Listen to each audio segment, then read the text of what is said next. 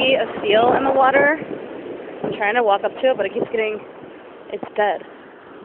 There's some people going up to it right now. Oh, what the fuck?